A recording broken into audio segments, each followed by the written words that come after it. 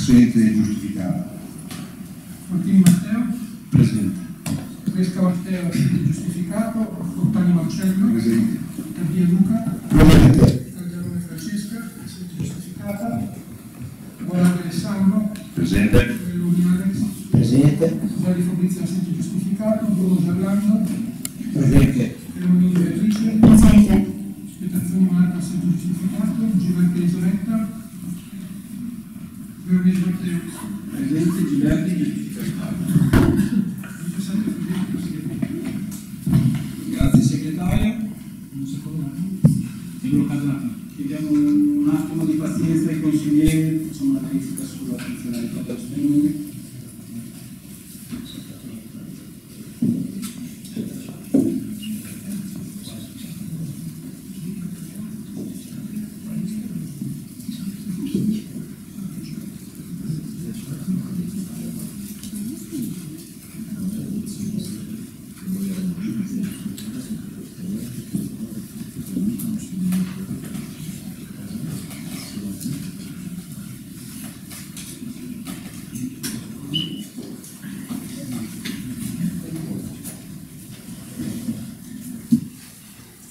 Bene,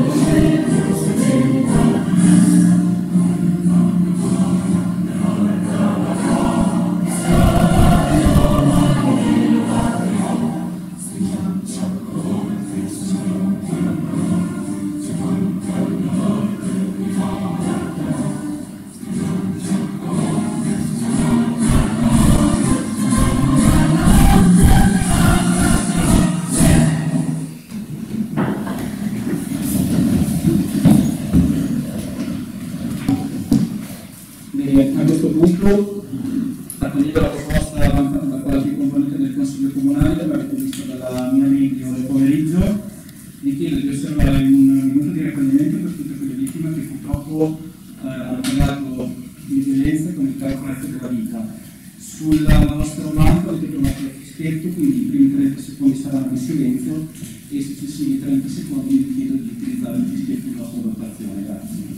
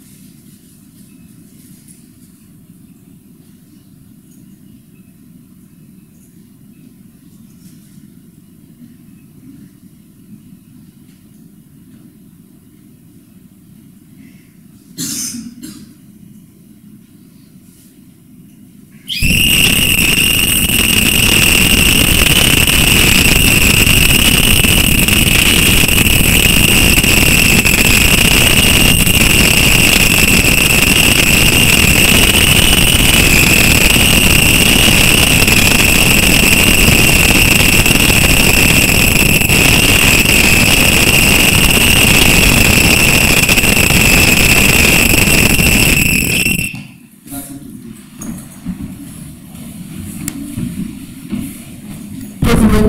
Avrei una richiesta da fare agli anticentro, se possibile. Allora, eh,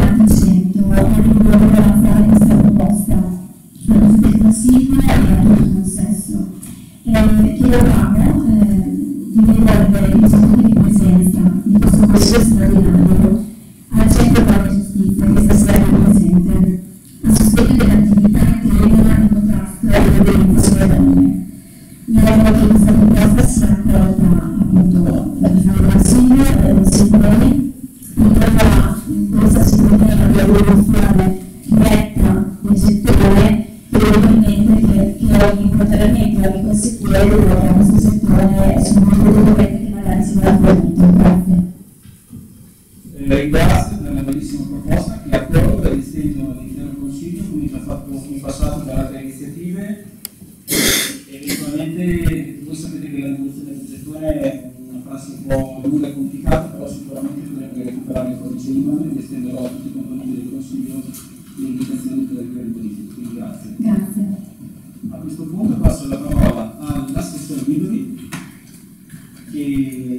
che successivamente poi ci introdurrà da tutti della serata. Grazie. Buonasera a tutti e a tutte, grazie Presidente per la parola, grazie ai consiglieri qui presenti e grazie agli ospiti che sono qui con noi, Li- ci tengo a nominare, la dottoressa Francesca Mantovani del Centro Donne Giustizia e Dicendo, la dottoressa Chiara- Laura Chiaravelli e la dottoressa Alessandra Freddo, creatrice dello sportello Centro di Ascolto dei Donne Maltrattate. Veniamo da un weekend molto intenso, in cui abbiamo svolto diverse iniziative di sensibilizzazione in occasione della giornata internazionale per l'eliminazione della violenza contro le donne.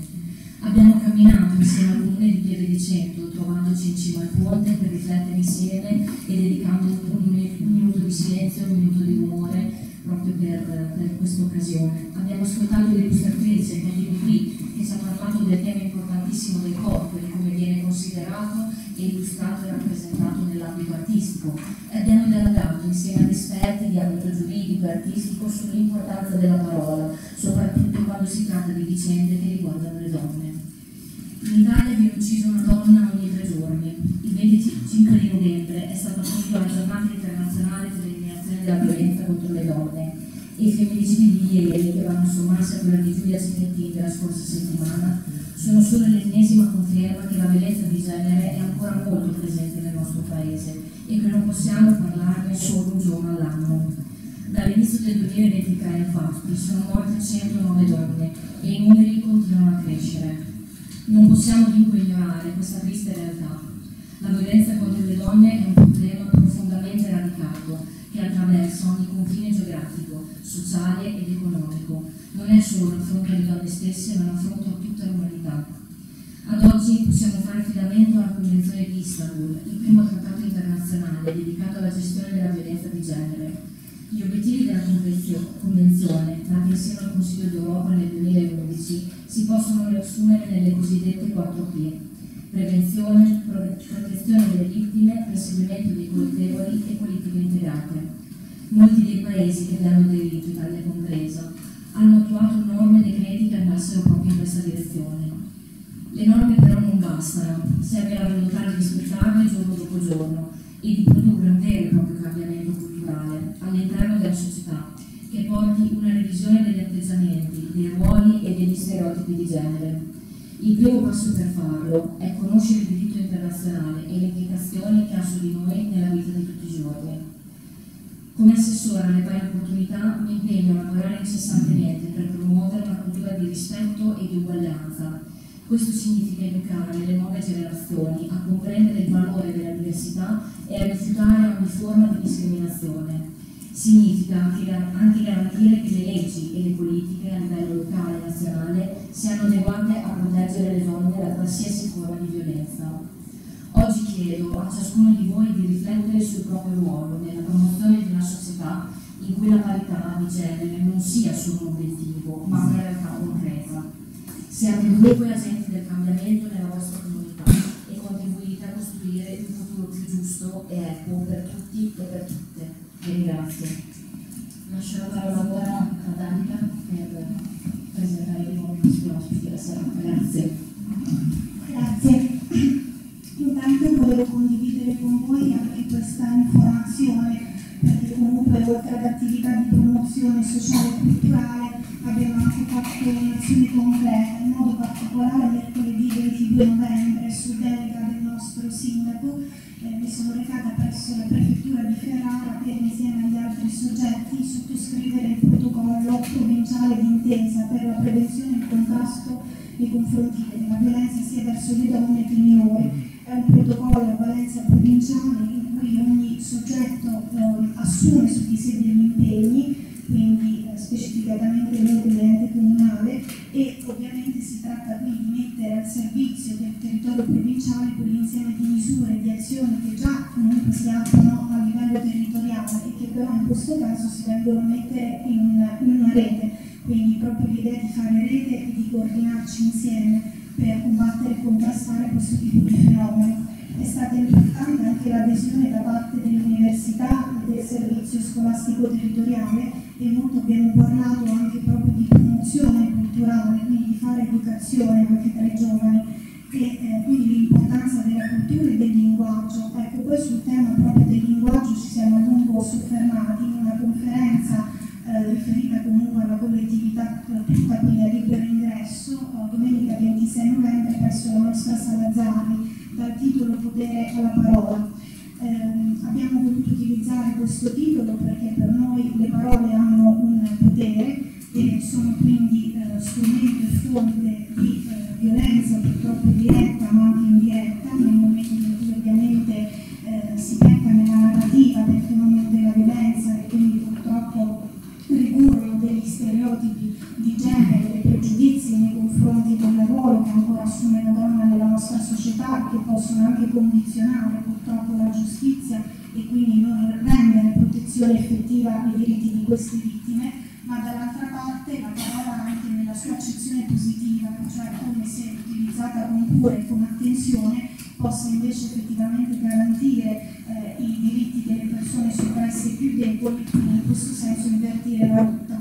Quindi ecco, attraverso delle attività concrete, eh, rimettere eh, a rete quelle misure, quelle azioni che già promuoviamo nel nostro territorio e dall'altra parte attraverso attività di ehm, promozione cultura sociale, ecco, cerchiamo ovviamente di eh, dare il nostro contributo come comunità per contrastare questo fenomeno.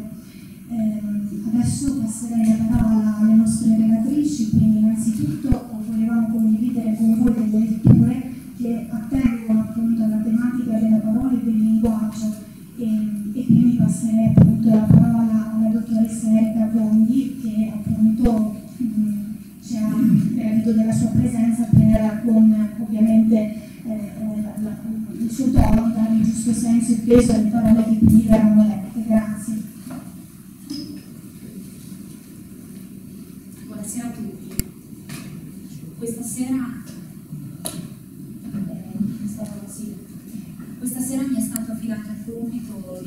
voce a, a tre testi molto potenti che sono stati scritti da tre autori eh, diversi e che lanciano a loro volta dei messaggi importanti sul, sul tema di questa sera, sull'universo linguistico che ruota attorno al mondo della donna, sul vissuto di una violenza subita e sul significato di cosa sia l'amore. Il primo testo che vi introduco è stato recitato alla premiazione dei dati di Donatello del 2008 e ci invita proprio a riflettere sulla potenza e sulla violenza delle parole.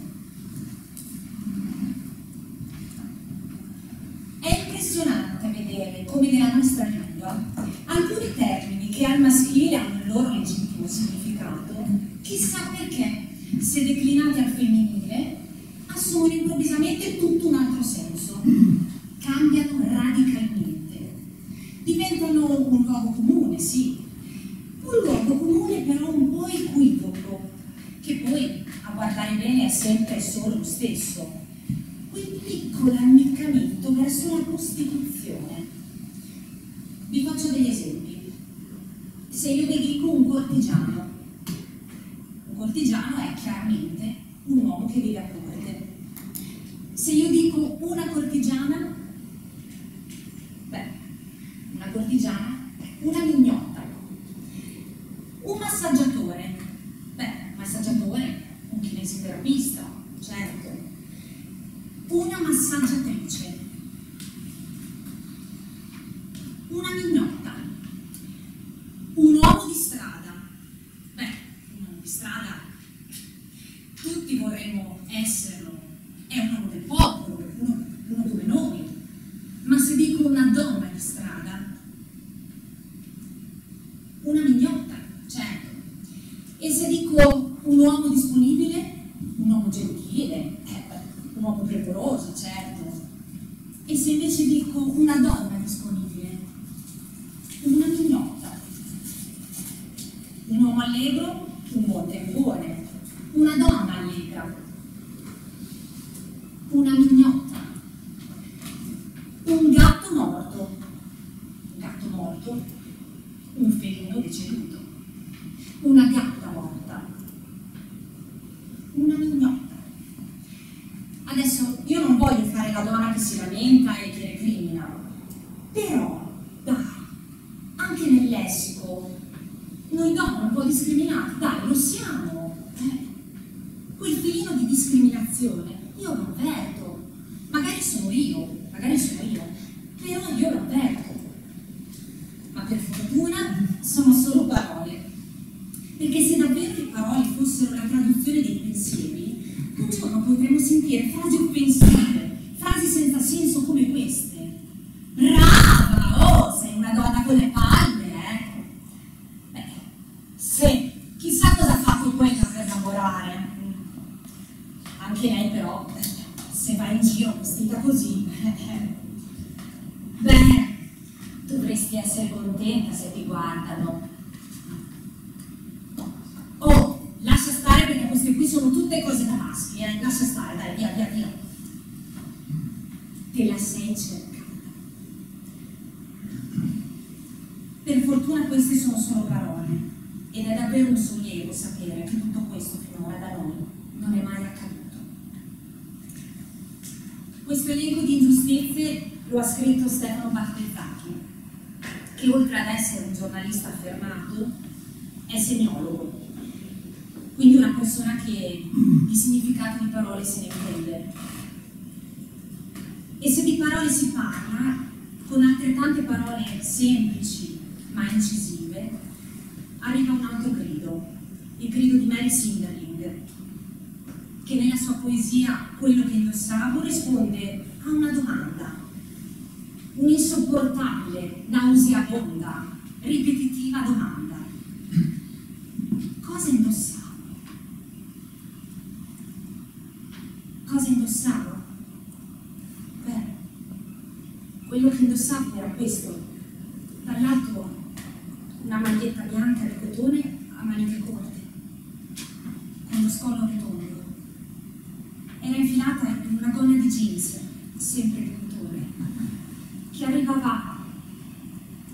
appena sopra il ginocchio, con una cintura. Sotto tutto ciò c'era un reggiseno di cotone bianco e delle mutande bianche